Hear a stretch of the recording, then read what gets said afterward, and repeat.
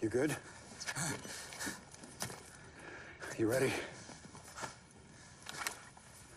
All right, men. Emeline will know of your courage. They all will. Remember me, man. Always, brother.